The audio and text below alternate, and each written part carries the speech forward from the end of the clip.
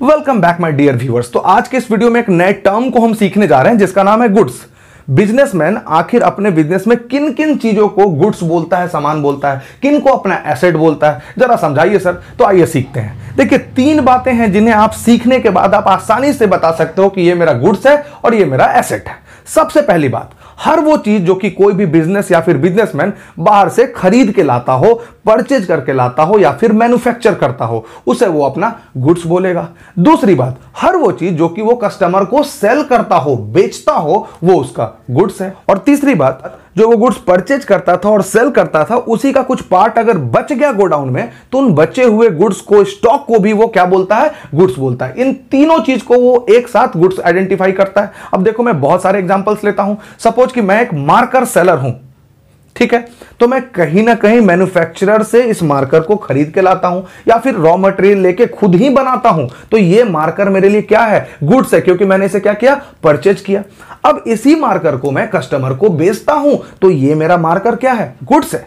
अब कुछ मार्कर मेरे दुकान में पड़ा रहता है हमेशा। तो ये भी क्या है मेरा गुड्स है? तो आप गुड्स में एज ए होल हर वो तीन चीज़ को आइडेंटिफाई करोगे, जिसको कोई भी सेलर या फिर बिजनेसमैन खरीदता हो, बेचता हो और स्टॉक में रखता हो, वो उसका गुड्स है। समझ गए? सर, और समझाइए। सपोज़ कि मैं एक बाइक शोरूम का ओनर हूँ। जितने सारे बाइक मेरे शोरूम में पड़े हुए हैं, उन सबका मालिक मैं हूँ। मैं इस बाइक को कहीं से खरीद के लाता हूँ। तो ये बाइक मेरे लिए गुड्स है।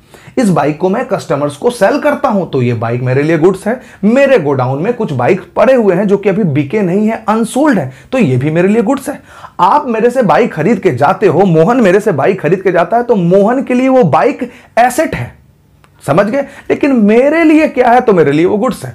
तो नट सेल आप यही समझो कि हर वो चीज़ बिज़नेस में जिन्हें खरीदा जाए, बेचा जाए स्टॉक में रखा जाए, वो उसका गुड्स होगा। जरा और जरा बोर्ड पे इसके डेफिनेशन को चेक करिए।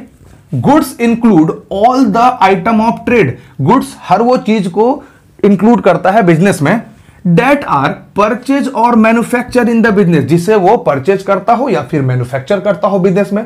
दूसरी बात डेट आर सेल और रीसेल इन द बिज़नेस जिसको वो सेल और रीसेल करता हो बिज़नेस में। और तीसरी बात that are part of stock और इन्वेंट्री इन द बिज़नेस वो स्टॉक का पार्ट हो तो वो सारे चीज़ क्या हो गए? गुड्स हो गए। For example bike for the showroom owner is a goods table bench for the furniture seller is a goods आपके लिए टेबल बेंच क्या है? एसेट्स है, जिसको आप बार बार यूज़ करोगे फर्नीचर है। लेकिन मैं तो दुकानदार हूँ फर्नीचर सेलर हूँ। मैं तो इसे गुड्स की तरह देखता हूँ।